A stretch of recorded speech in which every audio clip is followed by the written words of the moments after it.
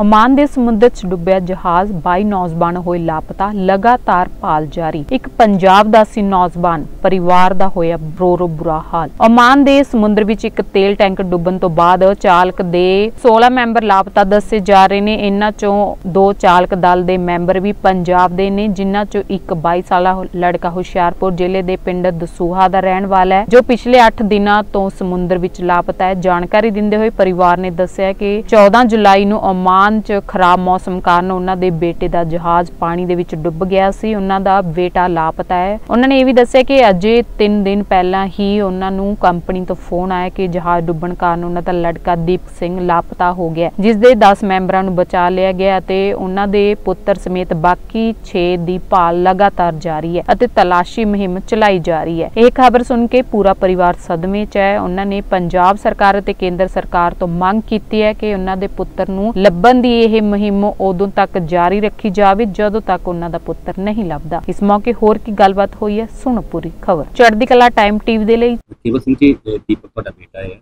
ਹਾਂਜੀ। ਕਦੋਂ ਤੁਹਾਨੂੰ ਪਤਾ ਲੱਗਾ ਸੀਗਾ ਕਿ ਇਸ ਤਰ੍ਹਾਂ ਦਾ ਹਾਦਸਾ ਜਿਹੜਾ ਸ਼ਿਪ ਨਾਲ ਵਾਪਰਿਆ? ਇਹ ਮੈਨੂੰ 18 ਤਰੀਕ ਨੂੰ ਪਤਾ ਲੱਗਿਆ। ਹੂੰ। ਮੈਨੂੰ ਫੋਨ ਆਇਆ। ਤੇ ਉਹਨੂੰ ਦੱਸਿਆ ਗਿਆ ਕਿ ਇਦਾਂ ਜਹਾਜ਼ ਪਲਟੀ ਹੋ ਗਿਆ। ਕਿੰਨੇ ਬੱਚੇ ਤੁਹਾਡੇ? ਇੱਕੋ ਹੀ ਮੁੰਡਾ ਮੇਰਾ। ਕੁੜੀ ਹਾਂਜੀ ਇੱਕ ਮੁੰਡਾ ਇੱਕ ਕੁੜੀ।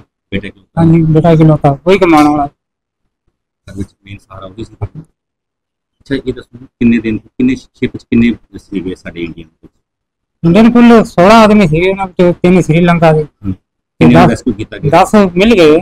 ਤੇ 6 ਜਿਹੜੇ ਪਹਿਲੇ ਨਿਕਲੇ। ਬੋਟ ਵਿੱਚ ਉਹ ਨਹੀਂ ਮਿਲੇ। ਅੱਜ ਕਿੰਨੇ ਦਿਨ ਹੋ ਗਏ? ਮਤਲਬ 14 ਤਰੀਕ ਰਾਤ ਦਾ। ਅੱਜ 23 ਤਰੀਕ ਹਿਸਾਬ ਲਾ ਲਓ 9 ਦਿਨ ਹੋ ਗਏ। ਕੀ ਮੰਗ ਕਰਦੇ ਹੋ ਬਸ ਇਹੀ ਸਾਡਾ ਮੁੰਡਾ ਵਾਪਸ ਆ ਗਿਆ। ਸਾਨੂੰ ਹੋਰ ਕੁਝ ਨਹੀਂ ਚਾਹੀਦਾ। 14 ਤਰੀਕ ਨੂੰ ਬਸ ਇਹ ਆਖਿਆ ਮੰਮੀ ਮੈਂ ਠੀਕ ਠਾਕ ਹੈ ਰੋਟੀ ਖਾਈ ਲਈ ਹੈ। ਹੂੰ। ਤਾਂ ਤੁਸੀਂ ਵੀ ਰੈਸਟ ਕਰੋ। ਤਾਂ ਹੁਣ ਨੈਟਵਰਕ ਘੱਟ ਹੁੰਦਾ ਹੈ ਤਾਂ ਗੱਲ ਘੱਟ ਹੋਆ ਕਰਨੀ। ਕਿੰਨੇ ਸਾਲ ਹੋ ਗਏ ਸੀ ਕੰਮ? ਹੈ ਦੂਸਰੀ ਵਾਰੀ ਕਿਹਾ ਹੈ। ਬਸ ਲਾਸਟ ਵਾਰ ਇਹੀ ਗੱਲ ਹੋਈ। ਹਾਂਜੀ। ਤੁਸੀਂ ਕੀ ਸਰਕਾਰ ਦੀ ਕੀ ਮੰਗ ਕਰਦੇ? ਹੋ ਬਸ ਇਹ ਹੈ ਕਿ ਮੇਰਾ ਬੱਚਾ ਤੋਂ ਠੀਕ ਹੈ ਮੇਰੇ ਘਰ ਪਜਾਏ ਤੇ ਮੈਨੂੰ ਕੁਛ ਨਹੀਂ ਚਾਹੀਦਾ। ਬਸ ਮੇਰਾ ਬੱਚਾ ਚਾਹੀਦਾ ਸਹੀ ਸਲਾਮਤ।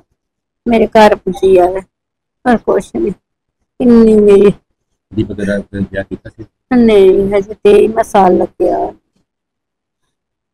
ਜੋ ਤਾਂ ਬੇਟਾ? ਹਾਂਜੀ ਕਲੋਤਾ